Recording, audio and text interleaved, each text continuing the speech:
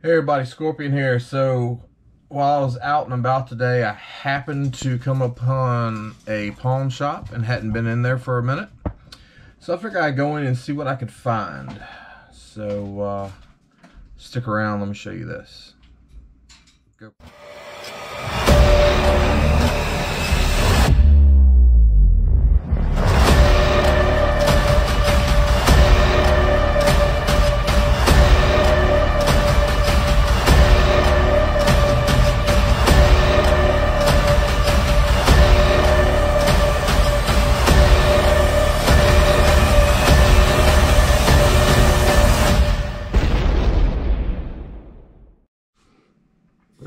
All right, so I was in there. I was actually handling a little bit of business. And I saw this sitting up there. I couldn't really make out what it was. I was like, what in the world is this? I could see there was some like pictures on it or whatever, and I thought it said the 10, but they had something sitting up here kind of blocking this, so I could just see a couple. So I asked him, I said, hey, what's that?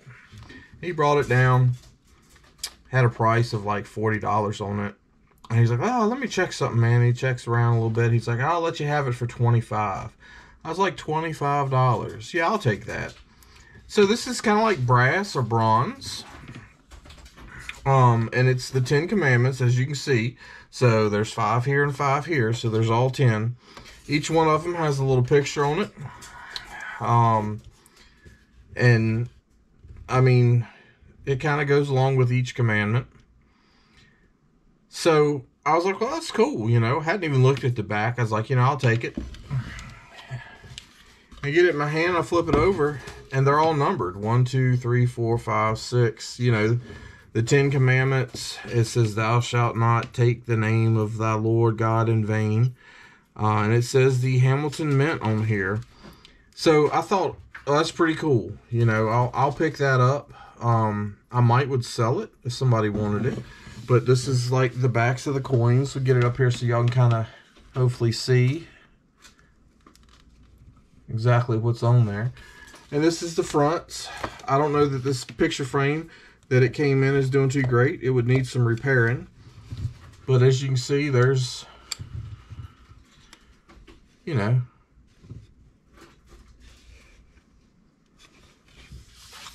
some pictures on there.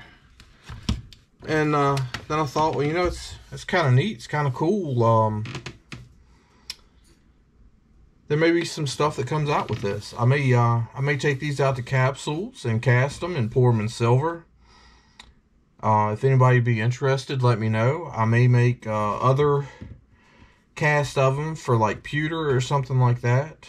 Um, but yeah, I, I thought these were pretty neat. And uh, first time I've seen something kind of like that. So I got the whole set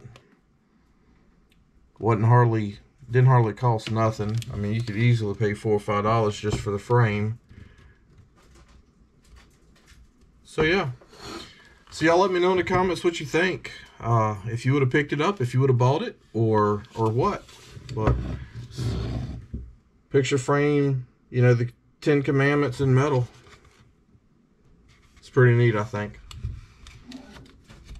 Anyway, we will uh, see y'all around.